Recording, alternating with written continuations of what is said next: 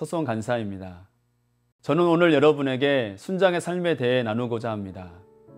순장이란 생명이 생명을 낳는 삶을 살아가는 사람입니다. 봄이 되면 새싹의 순이 돋아나는 것처럼 말이죠. 제가 살아본 결과 가장 가치 있는 삶입니다. 여러분, 인간은 얼마나 연약한 존재입니까?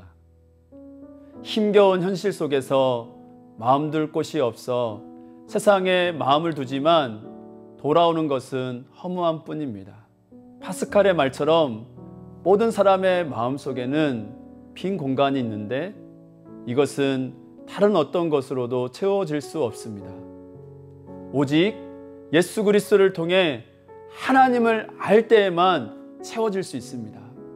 순장은 목자 없는 양처럼 정처 없이 헤매고 있는 잃어버린 영혼에게 예수님의 마음을 가지고 찾아가서 관계를 시작합니다. 자발적으로 예수님께 받은 사랑을 흘러보내며 주님 안에서 마음과 마음, 영혼과 영혼이 만날 때 그들 안에 예수의 생명이 자랄 것입니다. 이처럼 순장은 누군가의 영원한 삶에 영향을 끼치는 축복의 통로입니다. 순장을 통해 예수의 생명이 흘러가고 결국 사람이 변화되는 것이죠. 이 생명력은 틀불처럼 누룩처럼 지속적으로 퍼질 것입니다. 하나님은 실력이 뛰어난 사람보다 온전히 헌신된 사람을 통해서 일하십니다. 지상명령을 받은 예수님의 제자들은 타고난 재능이나 지적 능력을 가지고 있지 않았습니다. 우리와 마찬가지로 지극히 평범한 데다 인격적으로도 부족한 사람들이었습니다. 하지만 예수님은 이 평범한 사람들을 선택하시고 결코 평범하지 않은 사명을 주셨죠. 그리고 예수님이 승천하신 후 그들은 성령의 능력으로 복음사에게 뛰어들어 온 세상에 지울 수 없는 영향을 끼쳤습니다. 이들은 누구인가요? 바로 우리와 같은 사람들입니다. 순장은 자신이 부족하더라도 복음을 확신하며 예수님의 마음을 가지고 자신의 삶의 일부를 떼어 순원들과 시간을 보내며 그들을 사랑으로 품어주고 함께 주님을 따르는 것입니다. 순원을 양육하는 것은 쉽지 않습니다.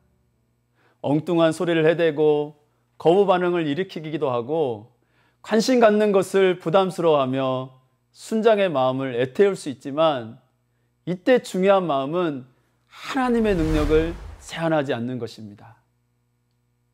세상에서 가장 변화되기 어려운 것은 무엇일까요? 바로 사람입니다. 내 순원이 변화될 수 있을까?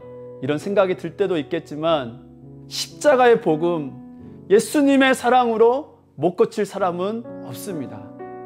정말 변화됩니다. 사실 순장이 순원에게 모든 것을 해줄 수 없습니다. 사랑하는 순원을 위해 눈물로 기도하며 말씀을 가르치고 예수님의 사랑을 흘러보낼 뿐입니다. 그럴 때 하나님께서 일하십니다. 때문에 순장은 하나님의 주권을 인정하며 순원의 성장과 변화를 기대할 수 있습니다. 순장은 천하보다 귀한 한 영혼을 품고 그들을 순원으로 삼아 제자화하는 일에 우선순위를 두고 헌신해야 합니다. 신학기 사역을 앞두고 지난 1년의 CCC 삶을 나누었던 한 형제 순장이 했던 말이 생각납니다. CCC는 내게 숨 쉴 수 있는 공간 같은 곳이었어요. CCC가 아니었다면 저는 대학 생활을 적응하지 못했을 거예요. 코로나가 장기화되면서 사람들을 외로움 속으로 밀어넣고 있는데 그런 상태는 정말 견디기 어려운 것입니다. 만약 예수님께서 캠퍼스에 찾아오신다면 누구를 만나실까요? 아마 그 외로움 속에 있는 우리의 신입생들이 아닐까요? 제자들의 삶 속에 다가오셨던 예수님처럼 우리도 누군가에게 다가가야 합니다. 우리 인생의 최대, 최고의 사건이 예수님과의 만남이었듯이 우리도 신입생들에게 가장 먼저 예수 그리스도를 들러주어야 합니다. 이것을 위해 하나님은 우리를 주님의 제자로 순장으로 부르셨습니다. 이것보다 더 큰 부르심은 없습니다.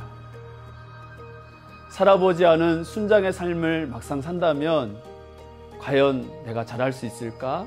이런 생각이 들 거예요. 더욱이 코로나 상황 속에 누군가와 새로운 관계를 만드는 것이 쉽지는 않습니다. 그렇지만 주님께서 부르신 순장의 삶은 특권이고 축복입니다.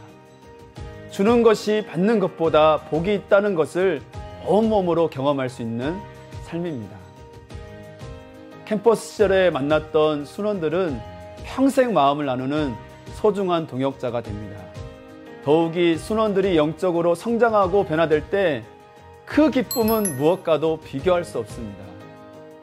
그리고 순장의 삶을 살 때 가장 큰 축복은 예수님의 깊은 사랑과 능력을 경험할 수 있다는 것입니다. 시입생들의 친구가 되어 믿음의 성장을 도울 때 하나님은 뿌린 대로 거두게 하실 것입니다. 잘할 수 있을까 고민하기보다 복음을 확신하며 새롭게 만나게 될 순원들의 마음에 지속적으로 사랑을 심어보길 바랍니다. 주님 안에 사는 인생에는 실패가 없습니다. 여러분이 뿌린 씨앗은 당장 보이지 않더라도 순원의 마음에 뿌리 내리고 있다는 것을 기억하시기 바랍니다. 하나님께서는 정한 때에 반드시 거두게 될 것입니다. 샬롬.